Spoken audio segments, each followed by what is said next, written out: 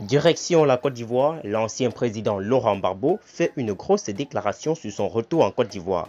Je cite, Je rentrerai dans mon pays avec ou sans passeport ordinaire. Alors pour plus de détails, après le générique.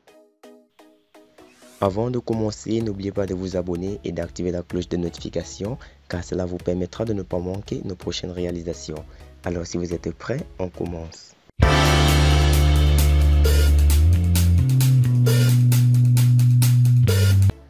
Nous venons à peine d'avoir l'information sur les réseaux sociaux et principalement sur la page Facebook du Front Populaire Ivoirien TV d'une déclaration assez intrigante. En effet, l'ex-président de la République de la Côte d'Ivoire, Laurent Barbeau, toujours à la Cour pénale internationale depuis 9 ans après un long procès, qui s'est heurté à l'obtention de son passeport afin de regagner son pays, la Côte d'Ivoire. Cette requête qui était en attente depuis quelques jours a repris et selon son avocate Madame Touré, les empreintes de son client ont été prises. Alors pourquoi ce dernier déclare alors je rentrerai dans mon pays sans ou avec un passeport ordinaire?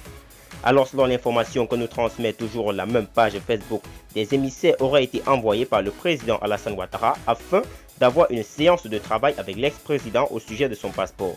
Après cette séance de travail, Laurent Barbeau déclare Je ne négocierai jamais pour mon retour en Côte d'Ivoire avec une contrepartie qui déshonore la dignité du peuple ivoirien. Je rentrerai dans mon pays sans ou avec un passeport ordinaire.